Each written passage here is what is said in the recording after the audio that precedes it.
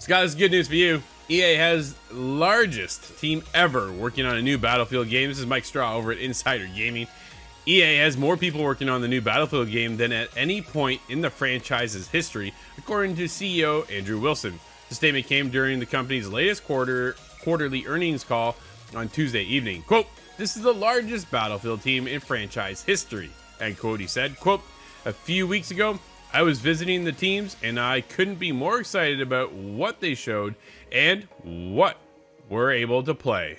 End quote. In April, EA announced that Motive, the studio behind Star Wars Squadrons and the Dead Space remake, would be moved over to work on the development of Battlefield. The studio is also working on the upcoming Iron Man game.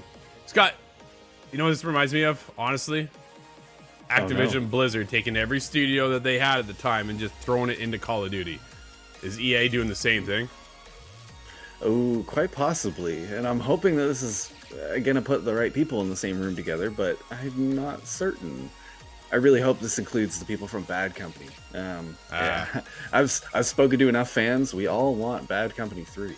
Absolutely. As far as the new Battlefield game, Wilson was happy with the game's progress and is confident about the, its success when players get their hands on it. Quote, I've just spent a whole bunch of time with the collective Battlefield team playing and what they're building, and it is going to be another tremendous live service. End quote.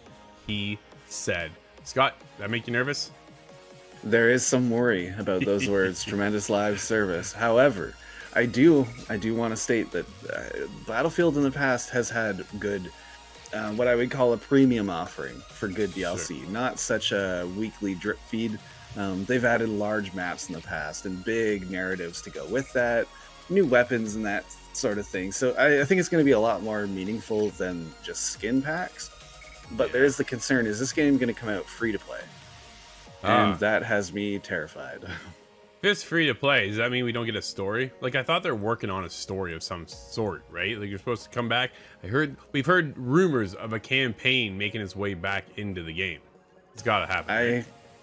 I I have a feeling that's going to be the paid um, part, in addition to a lot of. I'm sure they'll bundle that with a lot of the different um, weekly kind of live service events that'll be Right. going forward. So, um, battle passes and the like. But I'm hoping for a campaign myself, just because I really like the the campaigns they put together in the past. It's been Yeah. a long time though. It has been. And the way Battlefield 2042 has started off rocky, definitely came back around. Is wrapping up with the end of season seven. But then that's the end of it, right? That's it. When do you think we get the next Battlefield game? Is it next year? Oh, if they're already talking about things they've shown and things they're ready to play already, then I think we are seeing this next year, 2025. I would bet. Cool. Let us know your thoughts over on itgtv.com. Are you jumping into the next Battlefield?